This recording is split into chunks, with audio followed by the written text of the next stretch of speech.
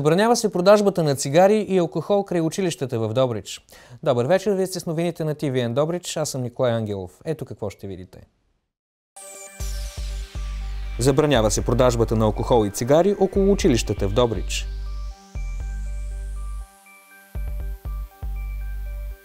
Задава ли се криза в здравеопазването в Шумен?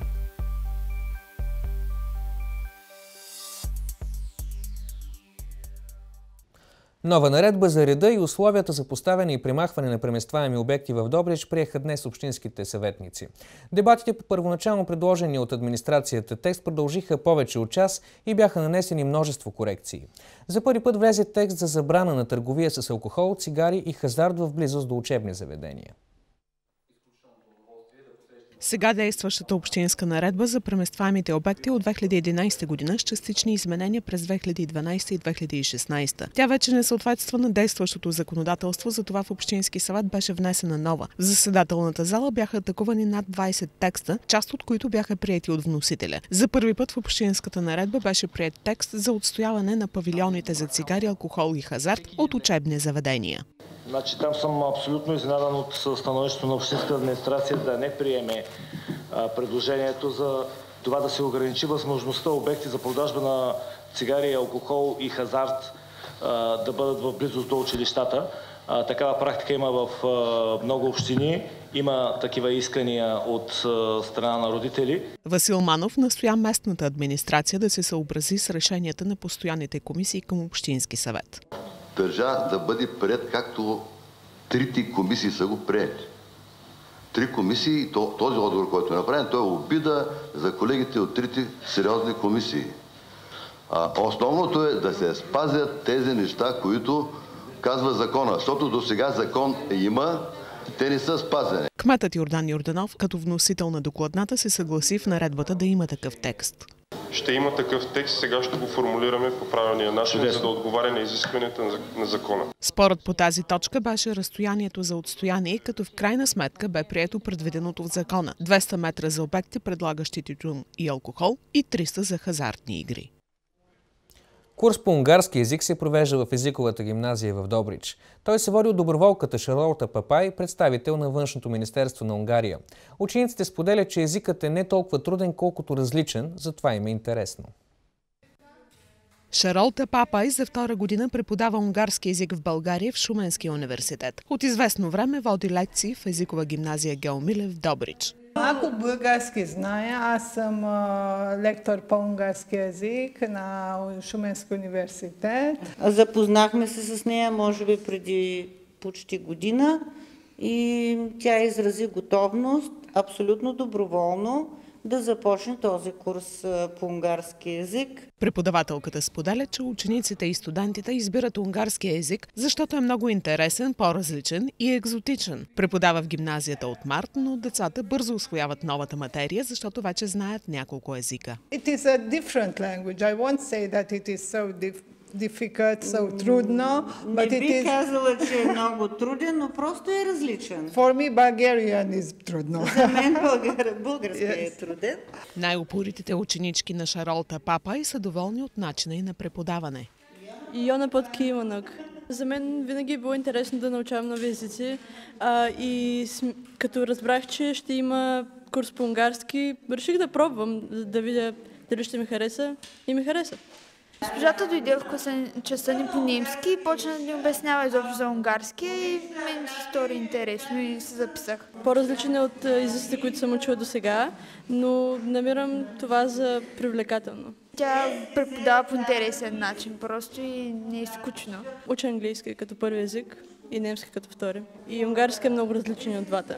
Това е по-логичен език.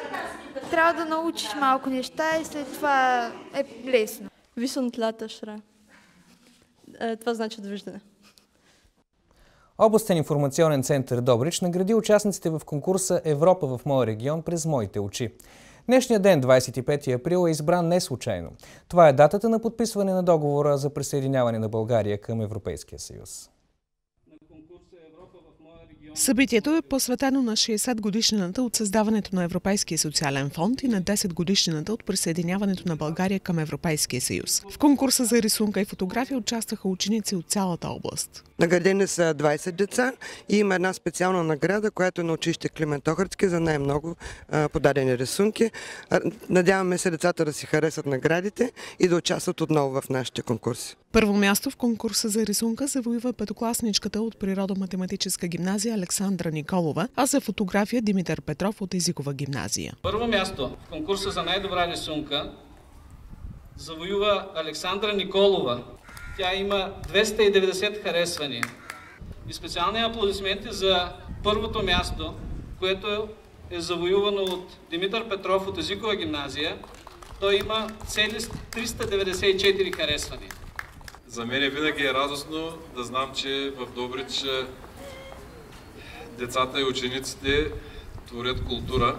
Всеки творец създава около себе си едно магнитно поле, което прави всички нас по-добри. Димитър Петров е избрал емблематичен обект за своята снимка – езерото в градски парк Свети Георги, обновен по европейски проект, а фотографията е умишлено състарена, за да подскаже древните ни корени. Като цяло Западна Европа е изградена много по-късно от Източна Европа и целта ми беше да покажа, че истинските корени на Европа са точно тук.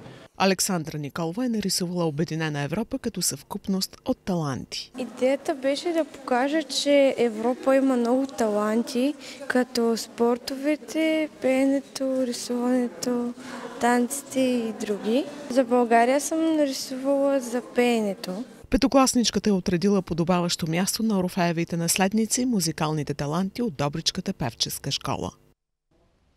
Шеф Росен Чекъров и майстор-сладкарят Петя Чекърова представиха интерпретации на модерна и фюжен кухня в Добричка професионална гимназия по туризъм. Те приготвиха дегустационно меню с оригинални вкусови качества чрез иновативни техники и модерни здравословни десерти. Подобен демонстрационен семинар се провежда за първи път в Добрич. Кулинарите разказаха и онагледиха гастрономията като вълшебна смес от наука и изкуство. В момента кулинарното изкуство се смесва и с науката.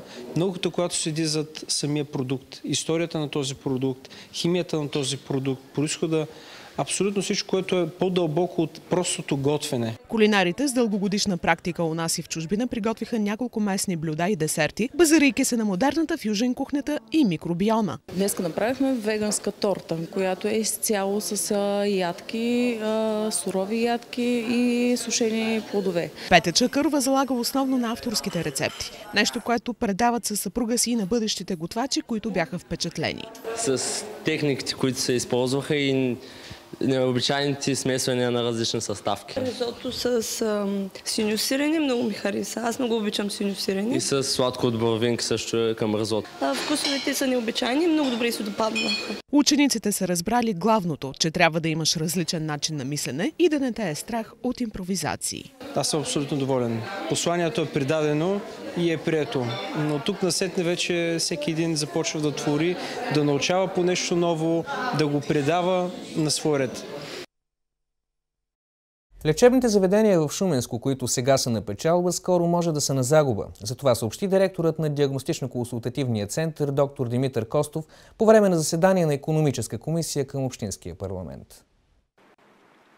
Поводът за коментара на доктор Костов бяха отчетите на четирите лечебни заведения, в които община Шумен е едноличен собственик или съдружник. Според данните, окръжната болница е на загуба от милиони половина лева, докато в другите три лечебни заведения се отчитат печалби. Доктор Димитър Костов е управител на едно от тях. За бъде успешно лечебно заведение са необходими няколко фактора. Значи, първият е това наистина да имаме добри лекари специалисти, съответно и друг персонал, който подпомага тяхната дейност. Необходимо е да има качествена апаратура медицинска, Необходимо е добри битови условия и на четвърто място винаги трябва да има и добра организация на работа. В момента обаче медицинските кадри в Шуменско постоянно намаляват, като възрастта на лекарите се увеличава. Всъщност основната опасност това е, пак казвам, от медицинските кадри. Не е само лекари. Значи, това касае и медицински сестри, и лаборанти, и рехабилитатори, съответно всички, които работят в тази сфера. Това според доктор Костов ще доведе до криза в здравеопазването в региона. Той отбелязва, че трябва да се вземат мерки на централно ниво, за да се запазват специалистите. При условие, че все пак се платят някакви субсидии държавни при обучението, би трябвало да има някакъв, да речем, 5-дневен, 5, 5 годишен срок или някакъв срок, в който не може би да се работи пак по разпределение, макар че това звучи малко така доста еретично, да, да кажем. Другата опция за запазване на лечението в региона пък е инвестицията в съвременна апаратура. Въпреки всичко, цялата система на здравеопазването се нуждае от подобрение, категоричен е доктор Димитър Костов. Журналистът Мартин Карбовски посети Шумен като част от турнето си Ребългаризация. В Шуменския университет той се срещна с студенти, с които дискутираха проблемите за гражданската позиция и липсата й. Липсата на гражданска позиция може да доведе до нов вид тоталитаризъм, смята Мартин Карбовски. От няколко седмици той обикаля българските градове, за да се среща с млади хора и да ги посъветва как да организират контакта гражданин-държава. На 18, примерно, хората, те би трябвало да знаят, това никой ни казва как да стане, да поискат от институцията и от държавата. Не от България и да кажат после България ще не ми даде, а от институцията, която представляват днес тия дни. Политическа институция или социална институция по-скоро. Те трябва да искат от политиците, независимо Бойко или Корнелия или трети, пети. Всеки, който дойде, трябва да му се иска. Според Мартин Карбовски, липсата на заинтересованост, мълчанието и нежеланието за взаимодействие между гражданското общество и институциите може да доведе до нова форма на подчинение. Бихме могли, ако продължаваме така, от немай къде и от седене вкъщи, ходене само между телевизора и хладилника, бихме могли да позволим нов тоталитарен проект, независимо по чия шапка да Няма че, че не е комунизъм. Решението на това е натискът според Карбовски. Той обаче не трябва да е агресивен като революция, а широк и граждански. Да се поставят ясно желанията и приоритетите на гражданите, след което да се изиска реална политика от институциите. Така обясни подхода журналистът. Велико Търново отново се бори за приза най-добър град за живеене в България. Популярната класация се провежда за 10-та поредна година, а гласуването продължава до края на април. 27-те областни градове ще бъдат оценени според 30 критерия, сред които екологично състояние, ниво на инвестициите, възможности за отдих, раждания на глава от населението и работни места. Велико Търново е сред малкото градове, печелили първото място в популярната класация, заедно с София, Варна и Бургас. Проучването цели да активизира гражданското общество, да създава идеи за просперитета на градовете и подобряване качеството на живот, които да бъдат подложени на обществени дебати. До сега наградата за най-добър град е печелена два пъти от Варна, четири пъти от София, три пъти от Бургас и един път от Велико Търново. Тържественото освещаване на новия катедрален храм Свети Свети Кирил и Методий в Ловеч ще бъде извършено на 30 април неделя. Това съобщават от Ловчанска митрополия. Празникът в деня на освещаването ще бъде оглавен от негово светейшество българския патриарх Неофит. На него са поканени и много от дарителите, сред които Бойко Борисов и Семион Сакско-Бургоцки. Мястото за изграждането на църквата е закупено през 2001 година от Ловчанска света митрополия при встъпването на Ловчанския митрополит Гаврил в длъжност. Новата църква има 850 квадратни метра застроена площ. Височината й е 25 метра. Църквата е оборудвана и с помещение, където ще бъде разположена библиотека към храма и стая за неделно училище, което предстои да бъде открито през настъпващата есен. За първи път изпитите по всички учебни предмети на зрелостниците ще се проверяват електронно. Писмените им работи ще се сканират и ще се изпращат в столицата. Тази промяна се въвежда с цел да се спести време за проверка и да се упрости процесът.